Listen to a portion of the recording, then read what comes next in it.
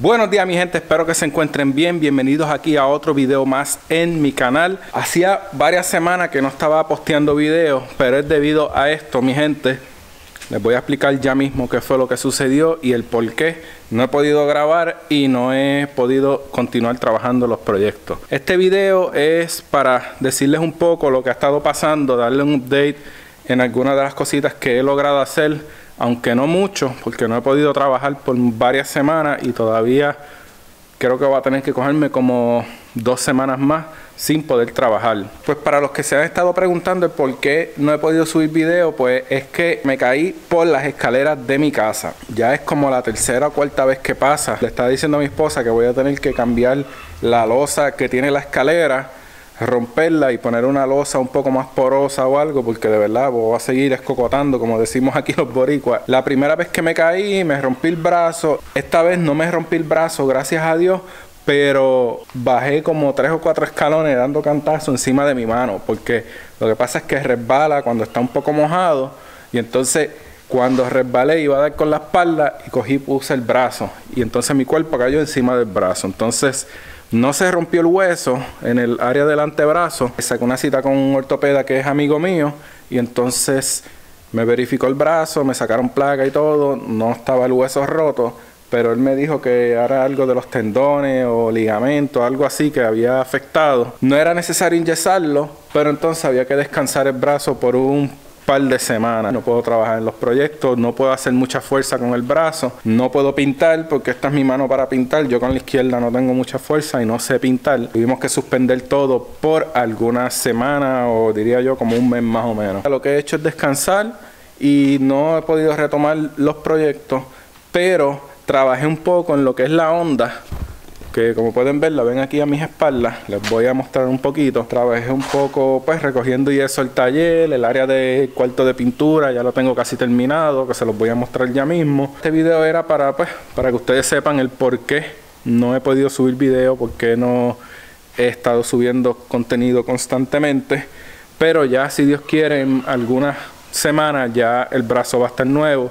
Y si Dios permite volvemos a trabajar otra vez en los proyectos So nada, voy a mostrarle ahora un poco la onda y mostrarle un poco lo que he logrado hacer por aquí en el taller, que no es mucho, porque como pues saben, no he podido trabajar gran cosa, pero nada, vamos para allá para mostrárselo. Pues les voy a mostrar aquí la onda, como pueden ver, le conseguí el frente en fiberglass, el frente ancho que es para dragueo. Los planes con esta guagua era armarla para circuito, cambié de planes y quiero armarla dragueo. Quiero hacerla full pista, pero en verdad es como que más de exhibición. Como ustedes saben, una de estas guaguas fue mi primer carro y los planes que yo tenía con ella era como que armarla para circuito y todo eso. So quiero hacer algo que la guagua yo pueda exhibirla, o que la guagua, por ejemplo, haya un show, yo la pueda llevar y a la misma vez llevarla a la pista también. Pero no es para competir, como uno dice, ir a hacer grandes números, ¿me entiendes?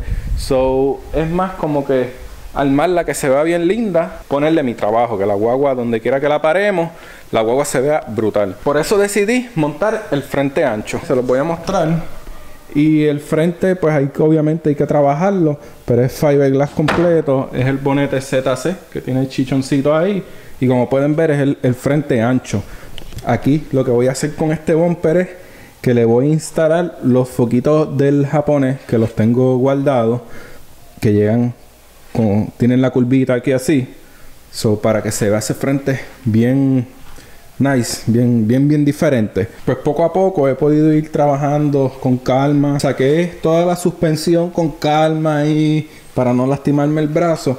Para entonces ahora voy a pintar toda esta área de blanco porque la guava va blanca lo mismo en la parte de atrás como pueden ver, saqué suspensión, tanque de gasolina, todo eso para afuera para pintarlo. Y luego que lo pinte, me voy a montar, que los tengo aquí, el sistema de disco para la parte de atrás. Para entonces poder bajarla de la máquina y bregarla después con calma afuera. Además de que hice eso en la onda, en el Celica le gasté un poquito en el área del flare del panel para entonces ahora echarle más producto y que vaya la espuma creciendo para seguir dándole el molde en este lado porque también vamos a retomar este proyecto muy pronto. Así que, ¿cuál más? La C10, como pueden ver, la C10 la tengo en la parte arriba del taller. Ya la subí para acá. Vino un amigo mío en una grúa. Le monté las puertas. Para entonces esta área que hay que hacerle un poco de trabajo de bodywork. Saber cómo están los gaps y todo eso. Para entonces pues comenzar a trabajarla también. Solamente estoy esperando por la parte que va aquí, que el panamio me la va a traer, la pieza que va aquí arriba, para entonces comenzar a ponerla, ponerle los guardalodos y hacer como un mock-up de las piezas. Mock-up digo que como un ensamblaje de las piezas, pero o no completo, solamente para ir viendo los gaps y los filos, como ellos van quedando. Para entonces luego pues continuar y si hay que hacerle algún trabajo de bodywork pues se le va a hacer como pueden ver también esta puerta está tengo el bonete aquí y los guardalodos que ya como ustedes vieron ya los guardalodos están ready para lijarlos y pintarlos prácticamente ya estos guardalodos están prácticamente diría yo un 95% terminado Aquí también tengo el Mustang que ya pronto lo vamos a continuar trabajando. Ya una vez, como les digo, se me sana el brazo, vamos a continuar con todos los proyectos nuevamente. Voy a mostrarle ahora el cuarto de pintura para que ustedes vean cómo el cuarto de pintura está quedando. Voy a bajar por aquí. Déjenme mostrarle aquí el cuarto de pintura. Ya tengo la computadora.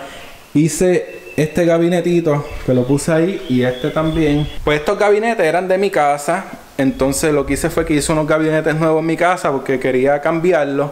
Los hice en PVC. Estos son en madera.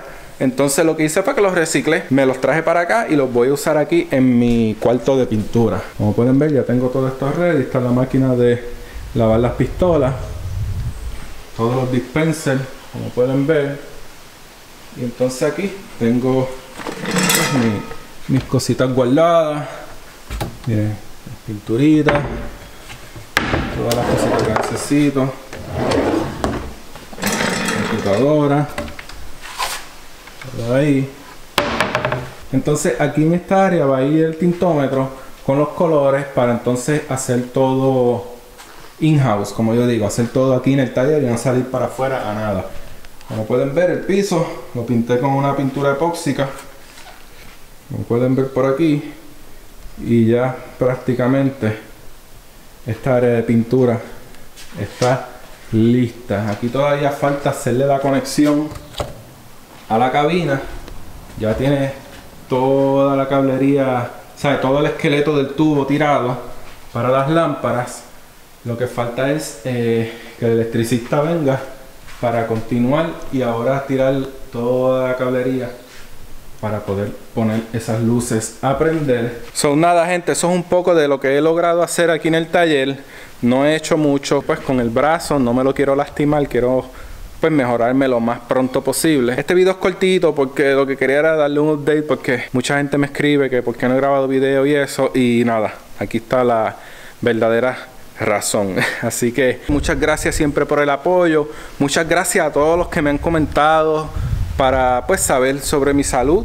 Les quiero decir que ya gracias a Dios me siento mejor y que pronto vamos a retomar los proyectos y vamos a estar dándole duro para sacar todos estos trabajos y nada, ustedes puedan disfrutar del contenido que va a venir. Vamos a cambiar un poco la temática de los videos, ya ustedes van a estar viéndolo pronto. Así que en los próximos videos también ustedes van a estar viendo un poquito el cambio en la temática de los videos porque nada, quiero de verdad motivar a esas personas allá afuera que todo con mucho trabajo, mucha disciplina, constancia, todo se puede alcanzar en esta vida. Así que nada, ustedes van a estar viendo pronto de qué es lo que estoy hablando. Así que mi gente, muchas gracias por todo.